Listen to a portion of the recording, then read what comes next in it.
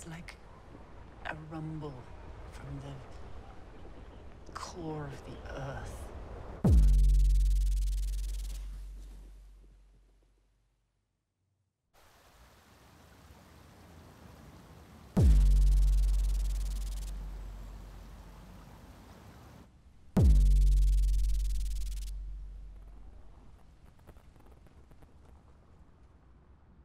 This is probably 6,000 years old.